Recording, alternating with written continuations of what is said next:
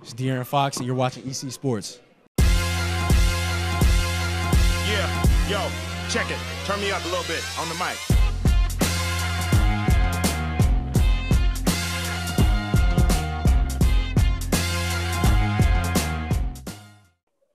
EC Sports episode. Wow, 60. 60 of those boys. Who is a good? I don't know any 60s, bro. I'm gonna have to go to the shaft. This bum that the Bears picked in the first round, I don't know why he just popped in my head. His name is Stan Thomas. I won't even give him the decency to label my show with his picture, but not a lot of 60s, buddy. Do you see any? I don't. I gotta tell you. Give me a minute. I'm on the most notable players by via USA Today. Mm-hmm. Number 60, Chuck Bednarik. Bednarik for the Chuck Green Bay Packies. Chucky Bednarik, Mhm. NFL. Also Otto Graham. Okay, those guys. Also Tommy Nobis. And last but not least, Otis Sistrunk. Hmm. Great. Safe to say, nobody wore 60. Yeah, but EC Sports will. Uh, what do we got today? You show ready to go. Great show today. A lot of anticipation upon the draft tonight. Let's get into it. NBA I'm going to give you guys my uh, my five team par. Dion's going to throw a little knowledge as well. We're going to discuss the Bears because the Bears started at five and one and are now slowly fading away from my what was to be a beautiful dinner sponsored by Dion Williams, which the tables have definitely turned. It looks like I may be taking him to a very nice dinner once Choice. Once little Lori opens up the floodgates. But in other news, the Bulls are trying to make moves upon tonight's draft. We'll get into that and what we see could be a potentially good fit for the Bulls if they were to make some moves and who we think we'd like to see them get even at the four spot if they stay put until tonight. First, let's get into that Bulls discussion. Yeah, let's. Um, it's been a while. The Bulls haven't played since February. Um, I'm interested to see what happens. Like I said uh, before, with this new regime, uh, new coaches, new front office, new everything, new jerseys, which I think are Dookie Boo Boo. Did you see him?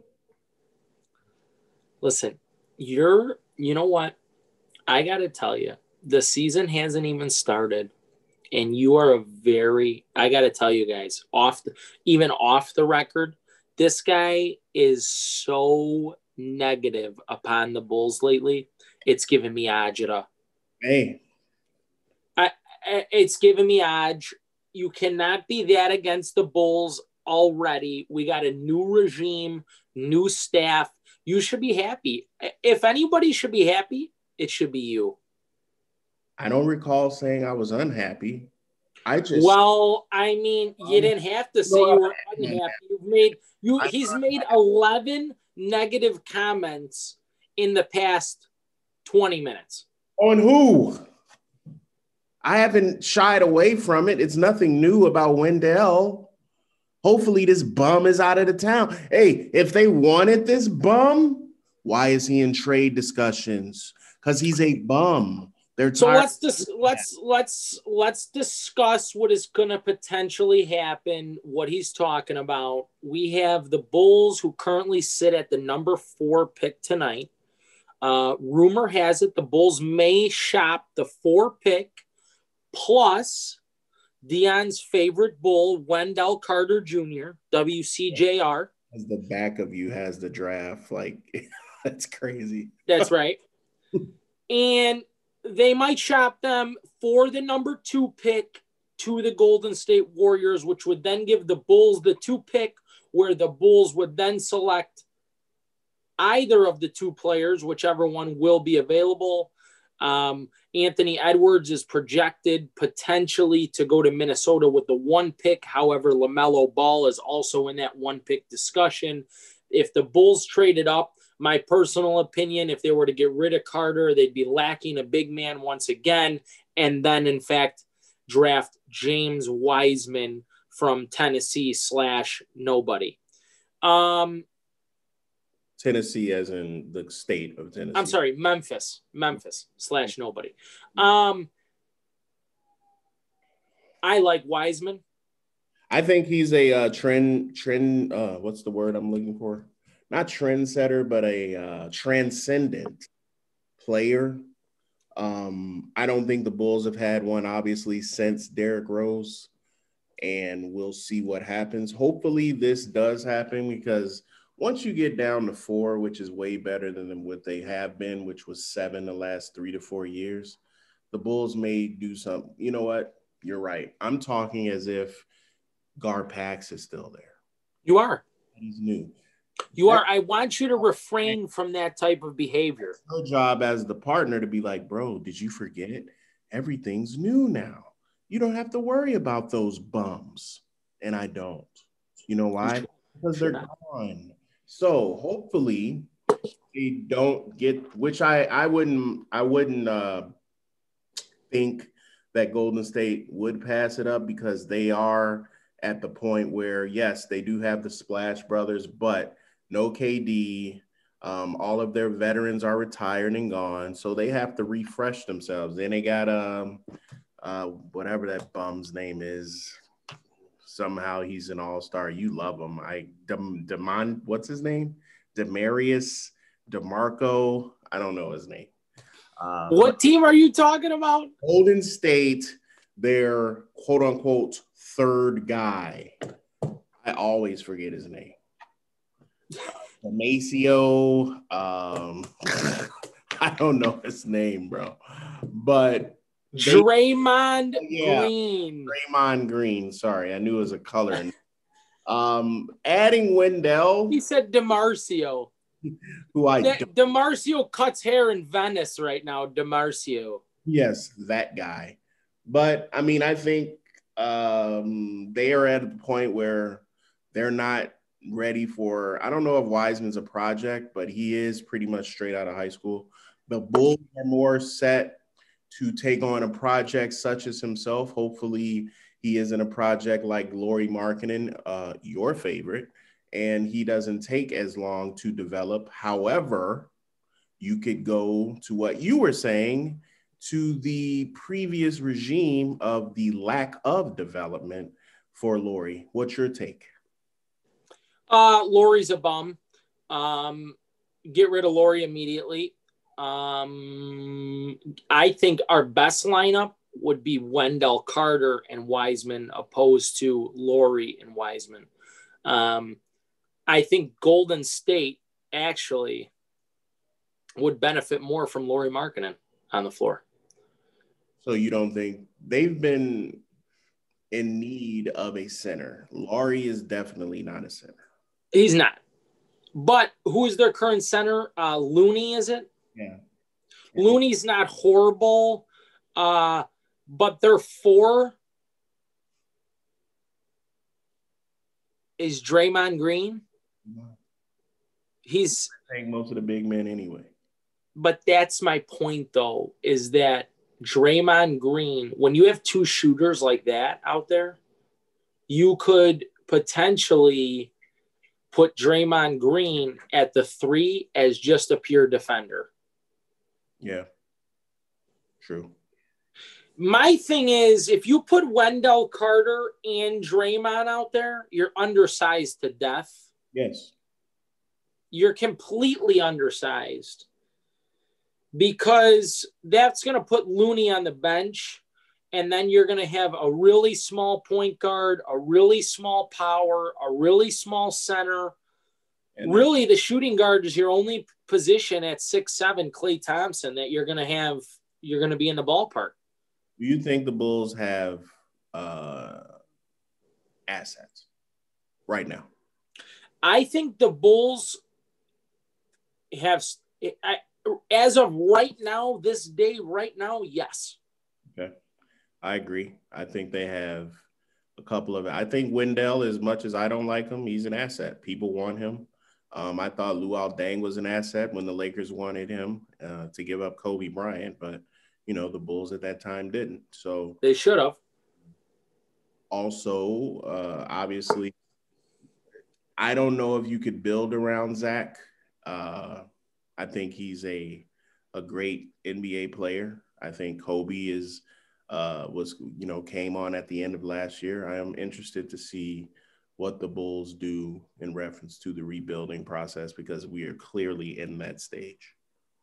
I think the Bulls, though, really with with Coby, LaVine. Um, I think the Bulls with Coby, LaVine, and then either when you know, as much as I hate Markkanen, but Markkanen or Wendell Carter, I think the Bulls are one free agent and one good draft pick away from being really good. Free agent I, like who? Because like now, uh, we have it.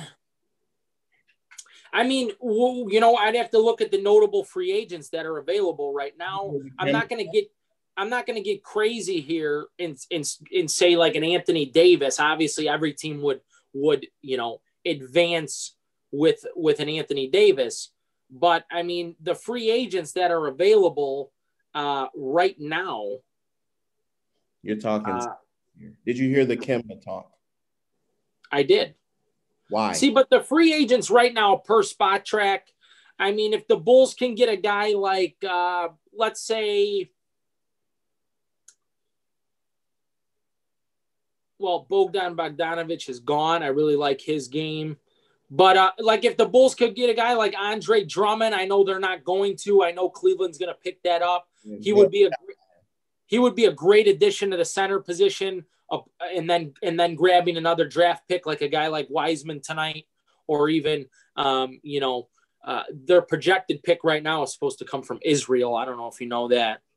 I don't know what he's going to do. I don't know anything about him, to be quite honest with you. If the Bulls can pick up a guy like, uh, let's say, Danilo Gallinari, I think Gallinari is a good player to have for like a year.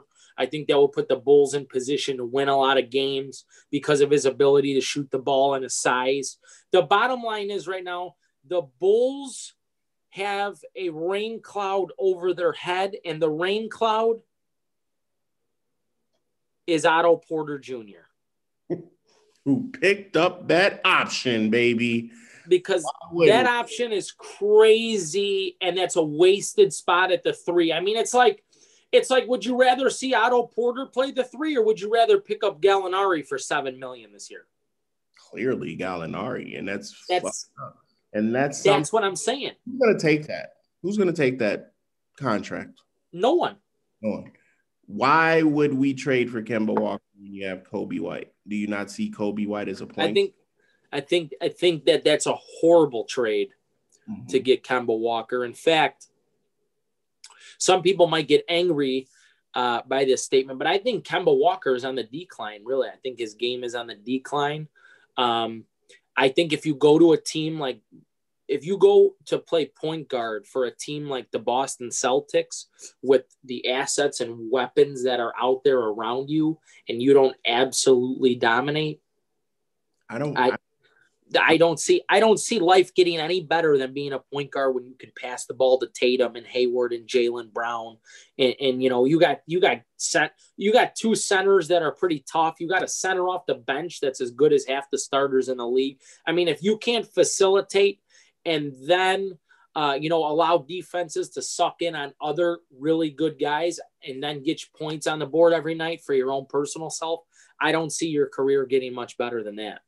Yeah, I don't. The only thing that he can do is what he was doing before, and that's go to a shitty organization and shoot the shit out of the ball every night. And he can't do that in Boston. That's no, not gonna happen. I just don't recall hearing his name throughout the bubble playoffs at all. I forgot he no. was.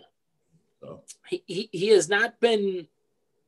He certainly hasn't filled the shoes of Kyrie Irving in what he was doing over there, but your boy Martian Head is on his way over to Sunnyside. Yes, he is. Um, I think Phoenix is going to Um, and for those that don't know, uh, Anthony labels Chris Paul Martian headed bitch um, for some reason. He is a winner wherever he goes, though. He is a Western Conference. Uh, I guess you could call him a winner. Yeah, I go. He takes all of his teams to the playoffs. He took and then loses to Oklahoma City. He's on his he's on his way to the Suns. He's gonna take them to the you know mid midway through the second round and get shit on again. midway through, huh? And just leave after the- when he's like when he's like 59, he'll be that guy like bouncing around or whatever star is is killing it by then. He'll be that bench rider for getting a ring. Like Shacky? Yeah, he'll be handing out he'll be handing out the little green Gatorade cups to the real players collecting a ring sooner oh, or later.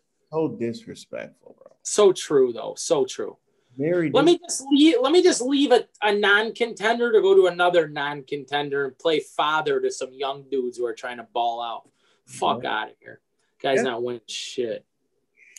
All right, let's leave his favorite topic of Chris Paul and go. You want to do your picks or the the Bears?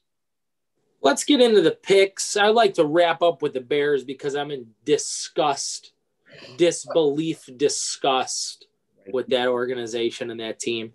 But I'm going to go ahead and brew up a five team par. Uh, we got Baltimore playing Tennessee this week. I love Baltimore coming off embarrassment. Are we going money line? We're going all money line on here. We're going all money line on this five team par, all money line, no juice. We're going Baltimore to beat Tennessee. Tennessee is a pretender that's not a good football team. This is not Bill George. You cannot hand the ball to the Amazon 45 times in a row and hope that he runs you to victory. This is the National Football League. This is some bullshit out of Tennessee. I like Baltimore. Baltimore's coming off a loss. And to be quite honest with you, this has got to be a proven game in my eyes for Lamar, who's heading down a, a, a rampant quick slope a downwards hill. I think he's played brutal as of late, and really, he's he's not even effective at running the ball thus far. He isn't. Um, I like the Chargers uh, over the Jets. The Chargers are in every single game. It's about time they they win one at the end. Uh, I seen a crazy stat that they've lost like 19 games in the past three years by one point, which means they just can't finish. Um, Anthony Lynn's definitely on the hot seat. If he loses this one, he's definitely fired. Uh, Herbert's a great quarterback. I look for them to win. The Vikings are getting hot. I like the Vikings this weekend. I think Dalvin Cook, who just got wrapped up by the Bears, the Bears have the best defense in the National Football League and definitely the best run defense, and they still soak. Um, so I'm going to take the Vikings. I think Dalvin's going to be back on track to get his. And last uh, the Vikings are playing the Cowboys. Oh, okay. Um, and last but not least, three, buddy. What do you mean? I got Baltimore Chargers, Vikings. That's correct. Oh, I'm sorry. Next up is the Steelers. There's absolutely no way that the 9 and 0 Steelers lose to the Jacksonville Jaguars uh, who look to be again without Gardner Minshew. The Steelers are on track. The Steelers define all around balanced football. Defensively, they're tough. They hit, they force turnovers. Offensively, the run game is there. Uh, you know, which is which is kind of crazy that the run game is there uh, with what's at hand, but they do have a great offensive line. And then the Pillsbury throw boy will be out there dominating once again, spreading the rock to different gentlemen throughout the field. I like the Steelers in that game. But last but not least, this is going to be the game that everyone's going to scratch and claw to figure out who they want to win. Uh, it's going to be a Sunday night showdown. It's going to be Danny's Las Vegas Raiders versus the Kansas City Chiefs.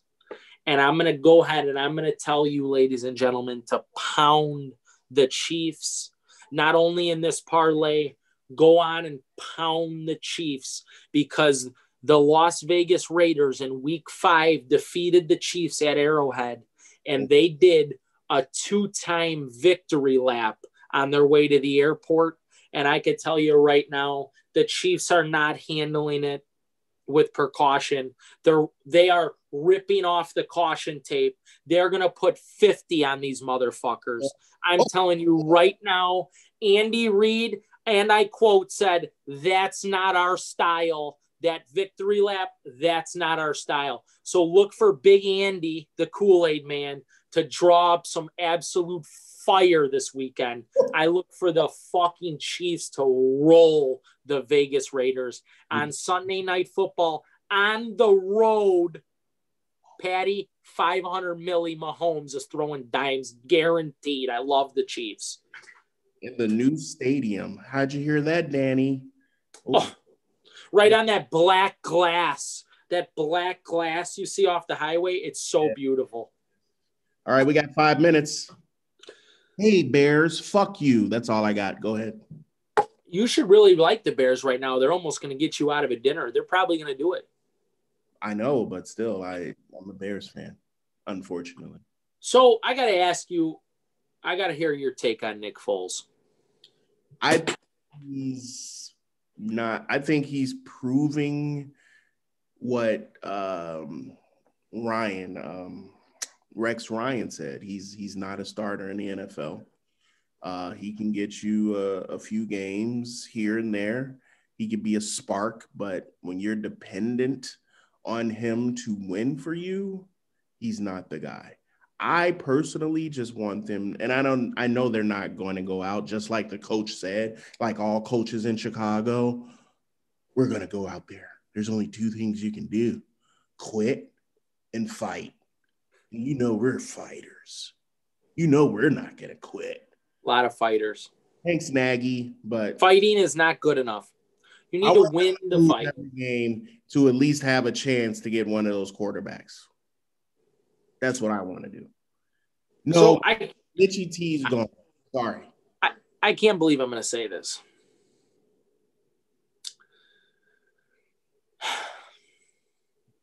There is a, a there is a, a substantial amount of turmoil right now between the McCaskeys and the Ryan Pace, uh, um, Matt Nagy show. I think this is for sure the Matt Nagy Ryan Pace finale. At the end of this season, I think it's over with completely. Um, but I will say this I will say Nick Foles is getting a lot of heat. Um, I will say that people have this, um, they have this opinion, a, a very strong opinion that because our O line is is the worst um, that I've ever seen. Uh, three guys for the past three weeks now um, have never played a down in the NFL and then get thrown out there. So um, the opinion is that Mitchell Trubisky is more athletic and has the ability uh, the ability to run away from blitzing defenders and bad offensive line play. Hmm. Um, I'm not buying this. I'm buying that he has the ability to run away, but once he runs away, I'm also buying the fact that he's going to turn the ball over and make irrational, terrible decisions. Oh, and don't forget, people argue that he was five and zero and he was benched. Yeah, he was five and zero. Uh, he was losing. They were going to get they were going to get slaughtered by ATL had Nick Foles not come in. But that's besides the point. The bottom line is, yes, Mitchell Trubisky can run away from blitzing defenders here and there, and he can also uh, withstand a horrible offensive line because he has the ability to run, whereas Nick Foles doesn't. But the offensive line that we have right now, I don't think there is a quarterback in the world that's Mahomes, Rodgers, everybody included that could that could that could succeed behind what we're currently doing. Between the mixture of offensive line play and the play calling, uh, you cannot tell me you could pick any quarter. You could grab a guy from the Arena League right now. You cannot tell me you blame the quarterback for 14 yards in the second half. You, no one can tell me that.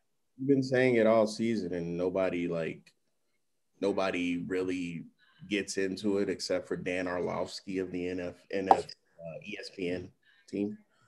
It's the play calling, unfortunately. Um, Nat Nagy's explanation was it's going to click at some point. That's what. Yeah, it's going to click. I just want to let those know before we go.